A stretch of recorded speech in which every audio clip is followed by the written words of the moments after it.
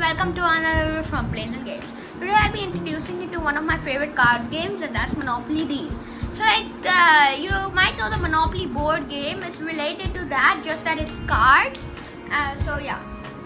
Uh, and uh, in the card set you'll find two Joker cards. So here I've gotten two Joker cards. They'll have the same image on both sides and you will have four of these rule cards. So this is an example of a rule card. So you give one to each player. Okay. So to start the game, you have to start. You have to start by giving five cards to each player. Guys, so uh, once I'm done giving five cards to each player, I picked up my cards, and this is what I have. So I have property cards. So I'm gonna put them here. One, two, and uh, I think I'll put the debt collector in my bank to add some money. So like there are basically three types of cards. There are action cards, there are property cards, and there are money cards which we don't have right now. And money cards always go in the bank no matter what. Okay. And uh, or yeah, and you can also play action cards over here. But the only but you can't play. You can only play double the rent with a rent card. So like suppose the other players play, I'm gonna play one, two, double the rent. So like basically the rent for yellow is 2 million and I'm doubling it 4 million. So the rent is 4 million. Everyone has to pay me 4 million. Okay. Uh, okay, so yeah. That we're done with like the uh, setup of the game and the, how an ongoing game looks like, I'm gonna be showing you some examples of action cards. So the first one is it's my birthday. You play in the center and everyone has to give you a 2 million birthday gift. This is a like rent card. Basically you play it in the center and then uh, for example you're asking for yellow then you play it in the center and all the players will pay you like according to the amount of like yellow property cards you have. So like for example you have two yellow property cards will tell you how much um, rent like how much it's worth on the card. This is a hotel card. You put it on a full set so to increase the rent value and you can also keep it in the bank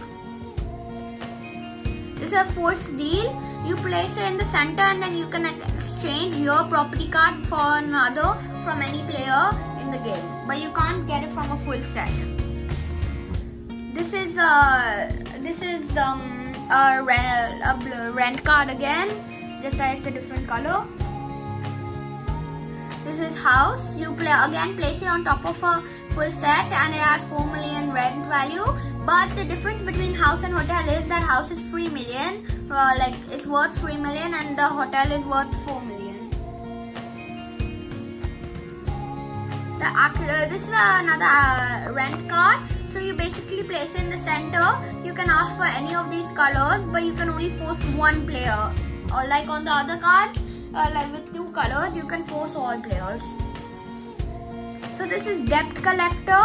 You place in the center and you uh, uh, like you, you um, ask the player of your choice to pay you, um, you know, three million.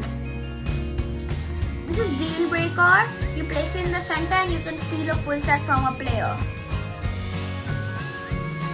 This is pass go. Uh, so you place in the center and you can pick up two cards.